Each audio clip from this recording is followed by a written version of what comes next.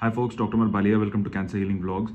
Uh, my plan for uh, long-term effort for my preparation for NEET SS. Uh, this is a little bit of an unusual thing which mostly you will not be seeing like most people prepare for one year and that's their main target.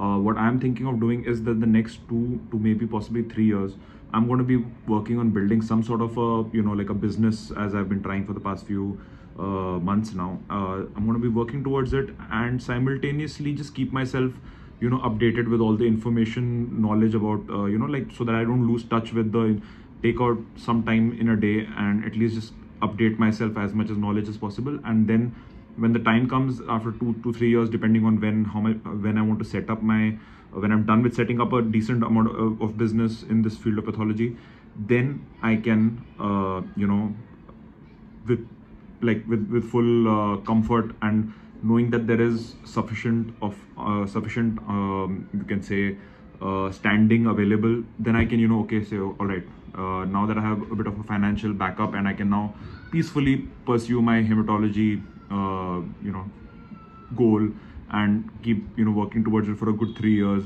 which normally what it takes for a dm so that's the kind of uh, intention i have in mind. Uh, it's a bit of an unusual thing but it's you know at least it's better than uh, at, at this stage in my life, I think it's better than just going straight and just for the next three years going straight on for just uh, hematology.